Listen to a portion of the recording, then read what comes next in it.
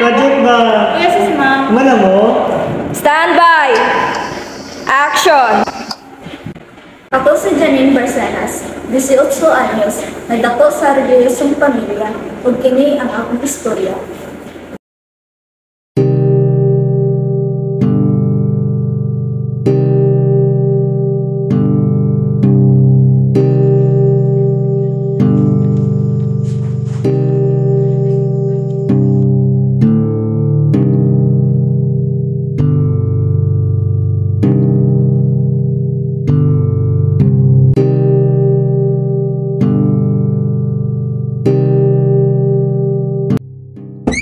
Asa mo nagkita gabi? Inawat yung pali.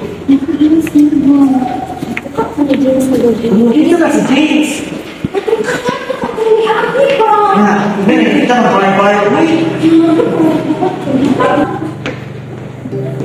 Hi, girls! Pwede ba?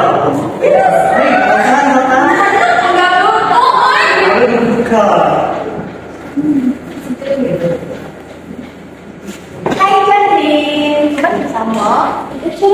babe. Ha? Mura ko og labyan sa bagong panahon. Kay nagpabilin gihapon ko sa akong nakasanayan na tradisyon. Samantalang sila naglipay-lipay sa mga modernong kinaiya.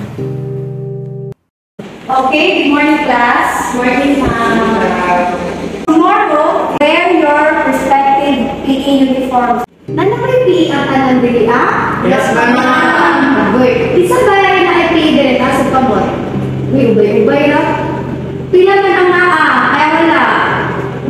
Agoy noy. Excuse me, ma'am. Oh, yes? Bawal sa religion nila dyan ang magsuot ng uniform. Kisa Janine. Ah, ikaw. Actually, class, okay lang nang wala dili siya magpalit. Uy, kung bawal sa ilaha, kay dili ah, ba-accept ang mga ng mga cultures.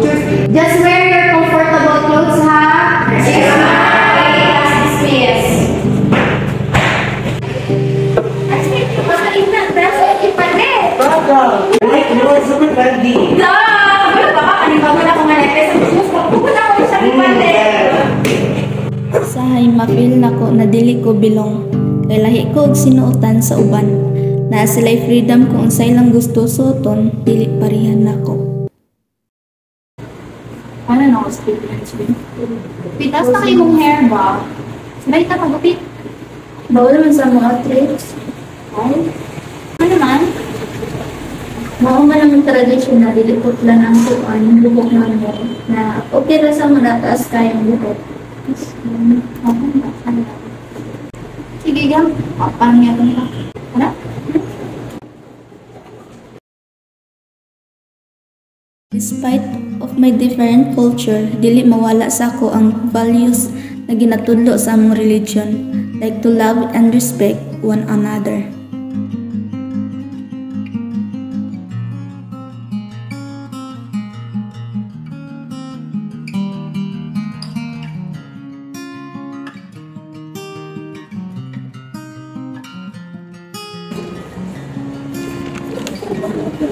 Hey.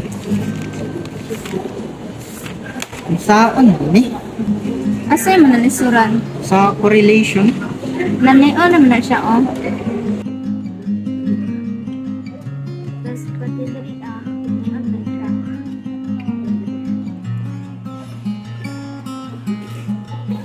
Basta naman din mag-vibe. Ay, ma'am, sa bang lang kita pagdalang, ma'am. Ay, salamat ka. Ayo, Janine. Kabutan mo ba sa ka, oy? Dito lang ako sa may, ano? I realize showing my kindness is the most important, even though I am different from others.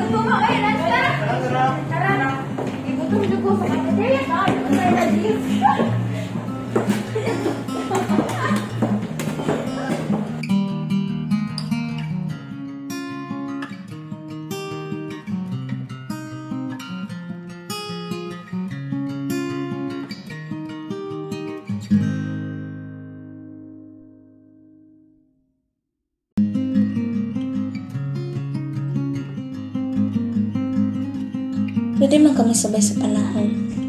Na di ginakompromiso ang kultura nga naandan.